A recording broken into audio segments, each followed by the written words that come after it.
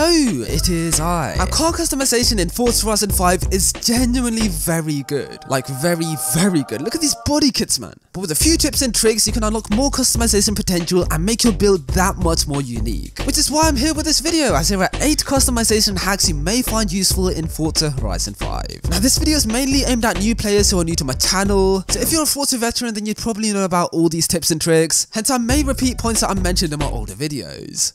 Anyways, now that that's cleared, you know the drill. 4,000 likes is the target, come on. If you manage to hit that, then uh, I don't have an incentive, but just press it, okay? It helps out a lot, and I'm trying to help you guys out as well. Anyways, without further ado, let's get into this video.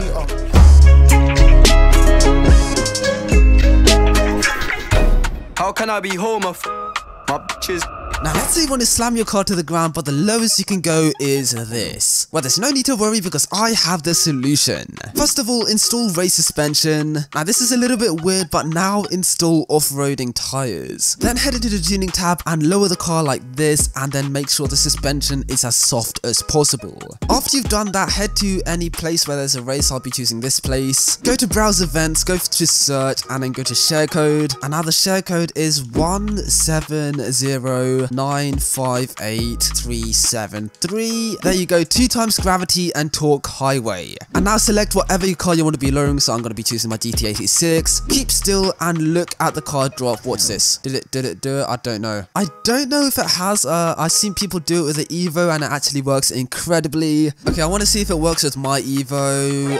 Oh my god, it does. Okay, so it does work. Look at that, that's fully tucked. Jesus. Okay, so if you're gonna do this, then don't do it with a GT86, do it with an Evo, because that looks so much better.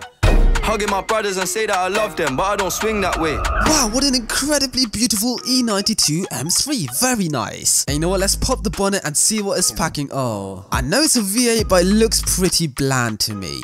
And you know what? I reckon a painted engine bay could really help to make this car look amazing. So how do you do this? Why allow me to demonstrate? First of all, paint the car what color you want the engine bay to be. So because I have yellow calipers on this car, I'll be going for a yellowish orange color like this. Now you can paint the bonnet and the door mirrors to color you want the actual car's exterior to be. Now go to apply vinyls and decals and put on the color that you want the exterior to be, so not a grey again. Let's do that, let's do that, let's do that, let's do that, and we are done. Okay, now you can pop the bonnet of the car and look at that beautiful engine bay. It's yellow here. Oh my god, it looks so good. And it matches the calipers so well. Look at the yellow calipers and look at the yellow engine bay. Oh my god, it's like a match made in heaven. Now obviously the paint might show through the wide body kit and the door seals which won't look that good. But you can't complain about that when you have a painted engine bay. Look how beautiful that looks. Oh my god.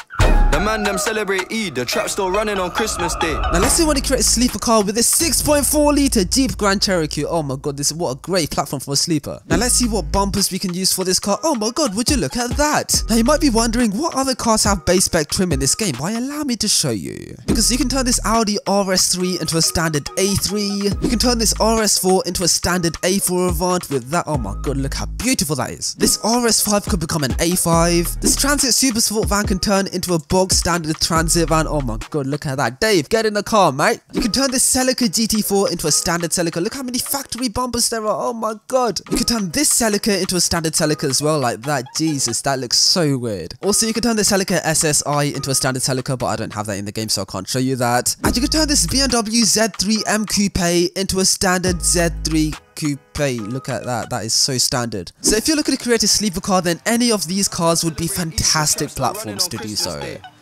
Somebody told Doja Cat that I'm trying to indulge Okay, so I just built this Ford Puma racing car and I'm actually pretty proud of it. But there's one very small problem about this car as well. It just doesn't sound like a racing car. There's no mechanical and it just sounds like an ordinary Ford engine, which it is. Well, don't worry about it because if you go into the drivetrain, go into transmission, and select the transmission with the most gear, so I'm looking for a 10 speed, there you go, there's a 10 speed one. And now when you take this car for a drive, There's a mechanical one which sounds so race car. When you lift off, you'll especially hear it. Listen to this. See that little whine there? Yeah, that is a transmission whine and it sounds very race car. So if you want your car to have a more mechanical whining sound to it, then just install the 10-speed transmission and you are done. And let's say you want colored carbon fiber on this car, well, if you go into the gloss carbon fiber, if you press the X button or wherever it says tint, you can change the color of the carbon fiber. Of course, you need to turn saturation up. And look at that, we got a green carbon Aventador. That is so weird. And the same thing works for chrome in this game because if you go all the way to chrome, you can tint it by turning the saturation up, obviously. What is this? So yeah, man, let's go with chrome purple. Okay, so right now I have a gloss triangle, so let's put that here. Now, if you press the menu button, then you can change the material of the vinyl. So you can slide it all the way here and look at that, now it's matte. Now let's say within this triangle you want a chrome purple star. So to show the body color, you need to go to here and go on apply mask shape. And look at that, it's a chrome purple star or whatever the color of your car's body is. But what if you want to write KSI on the side of your car? Well, this is going to be long, even though it's just three letters here. Look, I need to line. Oh, that, okay, I need to, I messed that up. Now I need to go to scale, do this. Oh, it's so long. This is, so, oh my god, I'm wasting so much time here. Oh my god, I'm, my arms are hurting. My, yeah. As you can see, I just experienced a migraine trying to apply letters onto this car. Well, don't worry about that because if you go to the letter thing here, if you press X, you can actually type in what you want the text to say. And look at that, if you did this individually, yeah, then you'd be here for hours. But I just typed in, quick ting,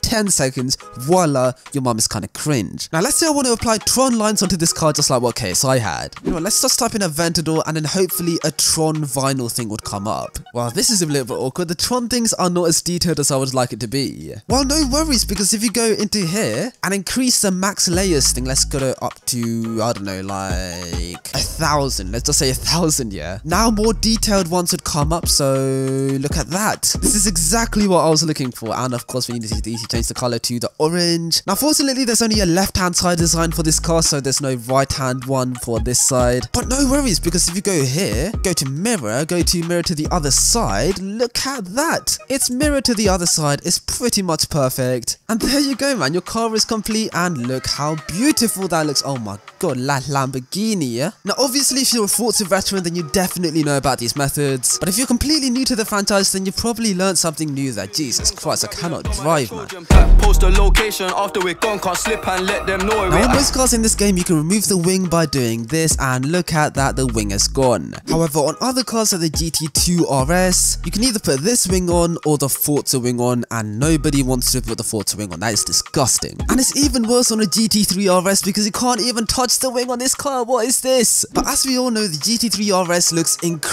without a wing. So how can you remove the wing on this car without removing the wing because you can't remove the wing through the Forza customization thing? Well, don't worry because I have the solution. First of all, you go into here, go into settings, go into difficulty, and uh, yeah, you need to do this. Once you've done that, pick up some nasty speed, pull the handbrake, voila. Okay, no, that didn't work. Pull the handbrake, and then you're gone is, no, reverse into a building like this, and look at that, the wing is gone. Now, yes, guys, I know the bumper's all dented and it looks kind of broken, but look how good that looks, yeah? There is probably a cleaner way of doing this without damaging the bumper, but I'm too lazy to find one now. So if you if you want to remove the wing off a GT3 RS or a GT2 RS or any car, just reverse into a house and you'll be done. I don't know about you, but I value my life.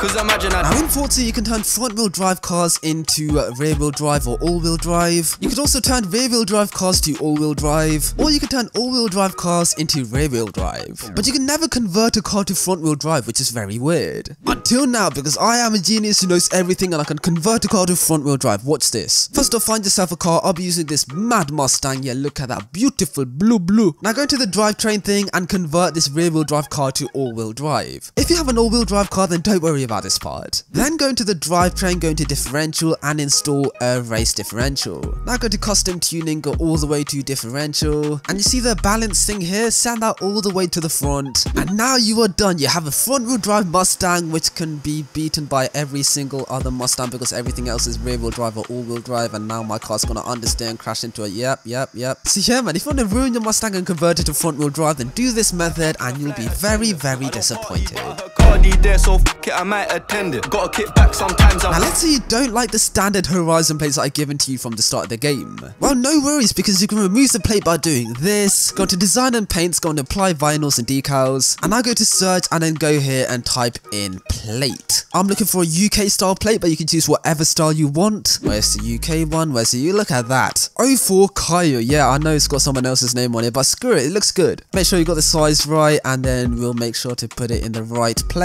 If you don't know what the right place is, then you can bring back the plate by doing this, and then adjusting where the plate is until it slightly goes out like this, and then you lower it back, and then kind of sort of adjust it sort of fifth. There you go. And now when you remove the plate, it should look incredible. Look at that, Jesus. That's perfect. That's so much better than this plate. And you know what, not gonna lie, this was meant to be the last point in this video. This is the eighth point, but I'm feeling a little generous today, so make sure to leave a like down below. Let's really try and hit 4,000 likes in this video. Thank you very much, and now here are an extra two customization tips and tricks. Wonder how life would have been if I never did take them risks Now, there are quite a few cars in Forza Horizon 5 with interior modifications which you just may not know about. Like this Plymouth Cuda, because if you remove weight from this car, watch what happens. Yep, the passenger seat goes away. That is what you call weight reduction right there. For those of you don't believe me, if I open the door, look at that, where is the seat? There is nowhere seat to be.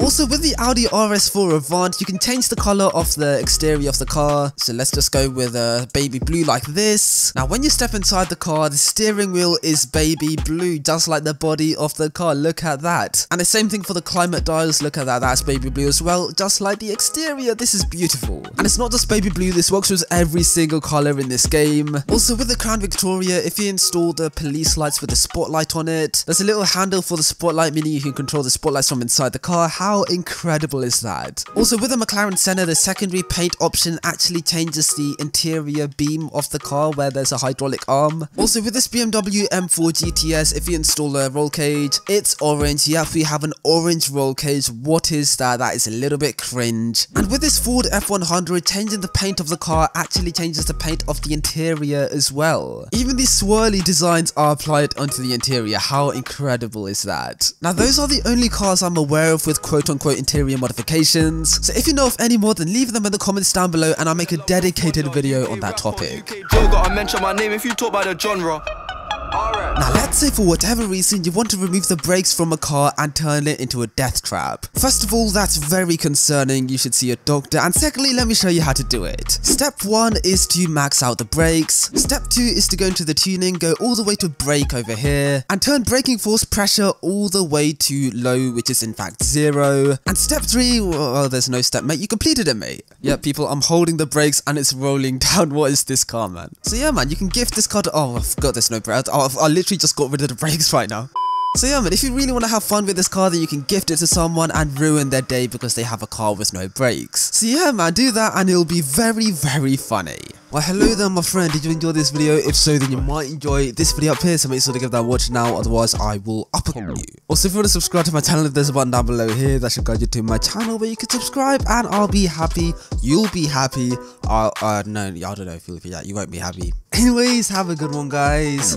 Cheers.